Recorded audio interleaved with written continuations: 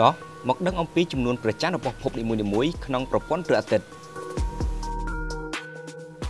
ព្រះច័ន្ទគឺជាតារារណបធម្មជាតិដែលវិលជំវិញភពហើយព្រះច័ន្ទទាំងអស់នោះត្រូវបានបង្កើតឡើងនៅក្នុងទម្រង់ខុសៗគ្នាព្រះច័ន្ទរបស់ផែនដីយើងមានប្រយោជន៍ខ្លាំងណាស់នៅក្នុងការរស់នៅរបស់មនុស្សលោកប្រចាំថ្ងៃ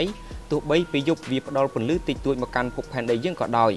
មានភពខ្លះមានព្រះច័ន្ទច្រើនហើយមានភពខ្លះទៀតគ្មានព្រះច័ន្ទទាល់តែសោះ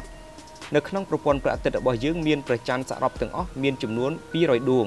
ឥឡូវយើងមកដឹងអំពីព្រះច័ន្ទនៃភពនីមួយៗនៅក្នុងប្រព័ន្ធព្រះអាទិត្យរបស់យើងបូករួមទាំងព្រះច័ន្ទរបស់កូនភពភ្លុយតូផងដែរដែលវាបានធ្លាក់តំណែងពីភពផ្លូវការមកជាភពបំរុងវិញកាលពីឆ្នាំ2006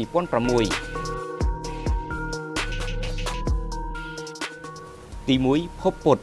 ភពពុទ្ធជាភពទី1ក្នុងប្រព័ន្ធព្រះអាទិត្យរបស់យើងភពនេះគ្មានព្រះច័ន្ទទេដោយសារតែវាមានគម្លាតនៅជិតព្រះអាទិត្យខ្លាំងពេកគ្មានកន្លែងសម្រាប់ឲ្យភពនេះមានព្រះច័ន្ទបានឡើយ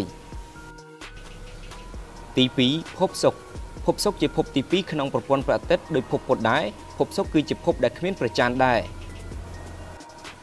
ទី3ភពផែនដីភពផែនដីជាភពទី3នៅក្នុងប្រព័ន្ធព្រះអាទិត្យហើយភពផែនដីរបស់យើងនេះទៀតសោតមានព្រះច័ន្ទចំនួន1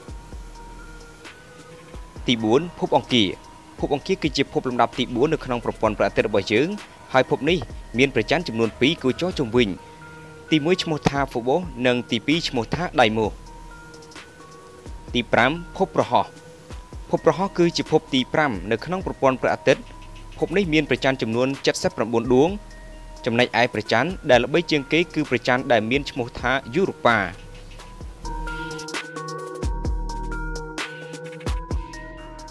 ទី6ភពសៅរ៍ភពសៅរ៍គឺជាភពទី6នៅក្នុងប្រព័ន្ធព្រះអាទិត្យហើយភពនេះមានភាពល្បីល្បាញនិងស្រស់ស្អាតខ្លាំងដោយសារតែវាមានខ្សែក្រវ៉ាត់ស្អាតនៅពុតជុំវិញ